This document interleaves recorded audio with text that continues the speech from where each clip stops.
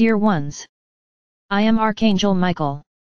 We are approaching the date that men created as the birth of Jesus, our beloved Master. This Master was in his world, about 2000 years ago, to try to put love and forgiveness in the hearts of all of you. Many think that everything was in vain, that his death was in vain. You venerate him to this day. How was it in vain? His love is so great, so wonderful, so spectacular, that it passes through every little piece of time, seconds, minutes, hours, days, years, and centuries, and remains in the hearts of all of you. I know that not everyone, because there are other religions that do not venerate this Master, but for all Christians he is the greatest teacher, Son of the Father, Son of the Creator. Much of its history was modified, to meet only the desires and decisions of those who modified it. There is a lot wrong with this Master, and you will soon know every little bit of it.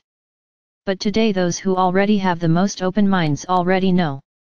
Many think it is sacrilege, the stories that appear, many think it is heresy, but deep down you will all one day know the truth, the real truth, the one that really happened.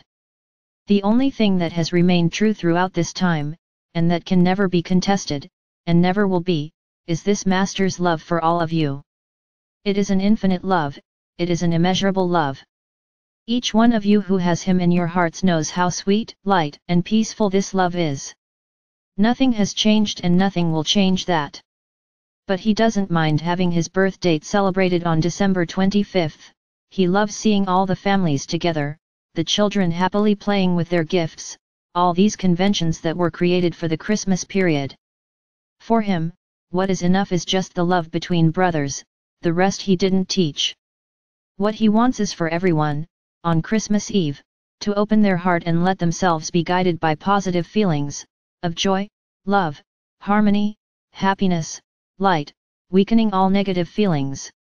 Gather with your family, but gather with love, but true love, not cordial love, the one who is together because he has to be. No, Jesus doesn't want that. What he wants is a full table, but full of love and harmony, because even those who do not have the financial means to have a table full of food, but who unite in the spirit of Christmas, of love and light, are blessed from the same way, and often, even more than having a full house, a full, plentiful table, and love spread out and separated. Celebrate my brothers. Celebrate the birth of this great icon of the representation of love on this planet. A living icon. Someone you know existed. It's not history. It's reality, and you can count on it whenever you need it. Just my brothers, don't put words in Jesus' mouth. Just act as he acted, without discrimination, and without separation. Jesus never said anything that would make them interpret that the brother next door is worse than you, or that you are worse than him.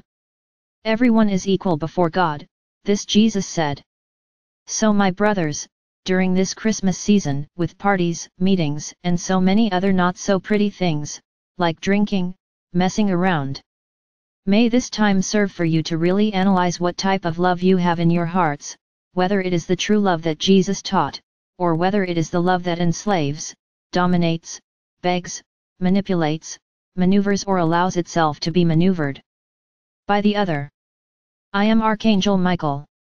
And I bless each one of you, who allows the love of Christ, true love, to enter your hearts.